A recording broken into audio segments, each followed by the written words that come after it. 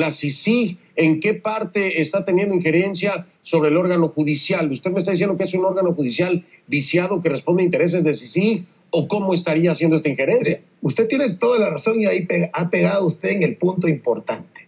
El órgano encargado de la investigación, denunciar y promover eh, la investigación es el Ministerio Público. Sin embargo, en Guatemala en los últimos seis meses sí ha tomado una investidura que no le corresponde.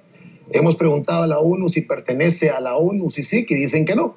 Le preguntamos a OEA y dicen que no, dicen que es independiente. Sin embargo, usted ve sentado al señor que usted menciona, a la par de la fiscal del Ministerio Público, ordenando y dirigiendo las investigaciones. Cuando se suspenden ese tipo de acciones, quien dirige las investigaciones es, este, es la comisión, en este caso dirigida por este señor.